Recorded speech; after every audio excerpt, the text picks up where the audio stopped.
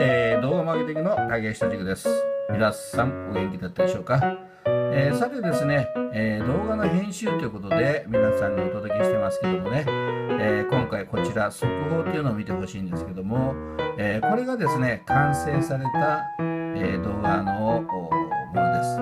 えこちらに、えこれから販売していくカンブリの絵と、そして周りにですね、この時に、えお話をされてる内容を全部こう文字に置き換えてみました。こういうふうにですね。はい。で、えこれがまあ完成形なんですけども、えこれの大元の動画は何なのかというとこちらになりますね。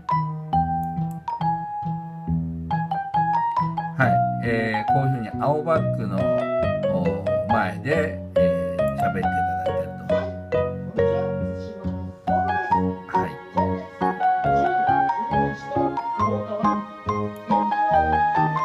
だい。えー、こういうふうにですね、えー、青バックの前で喋、えー、っていただいて今の場合は音声ですね、えー、これからの場合がお魚が出てきます。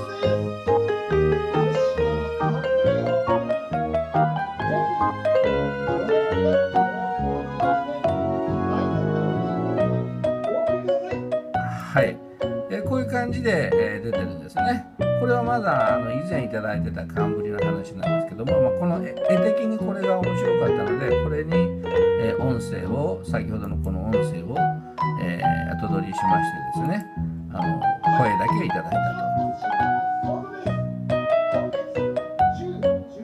はい、こういうふうに音声だけいただいて、えー、編集はこういう具合になります。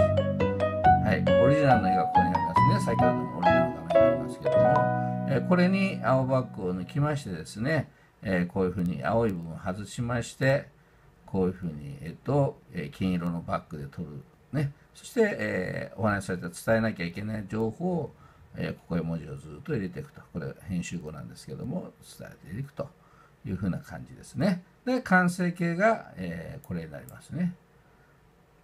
はい、えこういう感じになってくると、はい。え、ちょっと見てみましょうかね。こちらで。はい。じゃあちょっと見てみたいと思います。はい、はい、こんにちは、対馬のソウルです。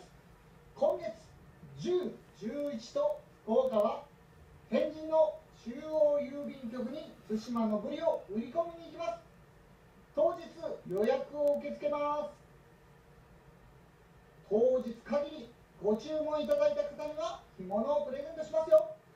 ぜひご注文しに来てください。待っています。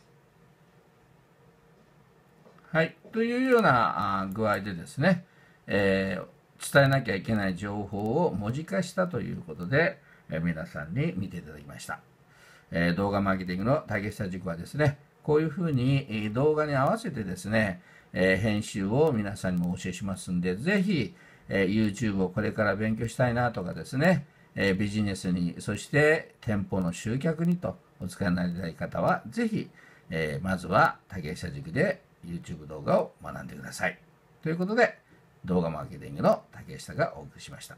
それではまた次回お会いしたいと思います。